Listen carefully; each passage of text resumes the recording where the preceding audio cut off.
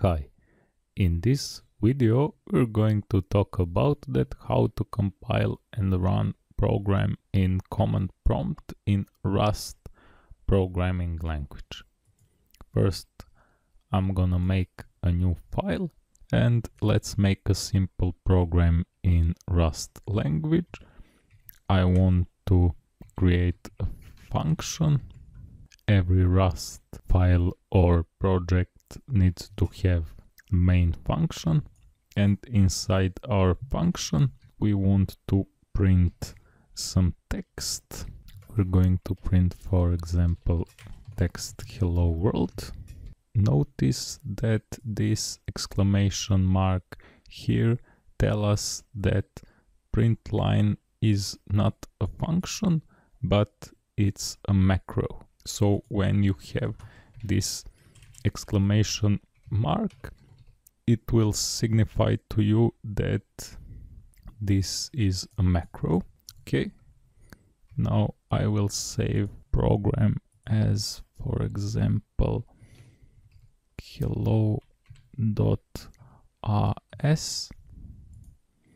and then I want to find it in command prompt.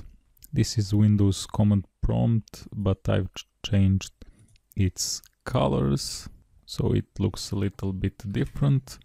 I want to find folder with our code here.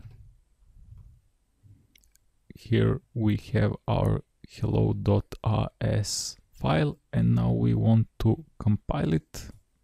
We're going to use rust compiler rust c and we're gonna put the name of our program as an argument and I will press enter. Now our file is being compiled and we can run it.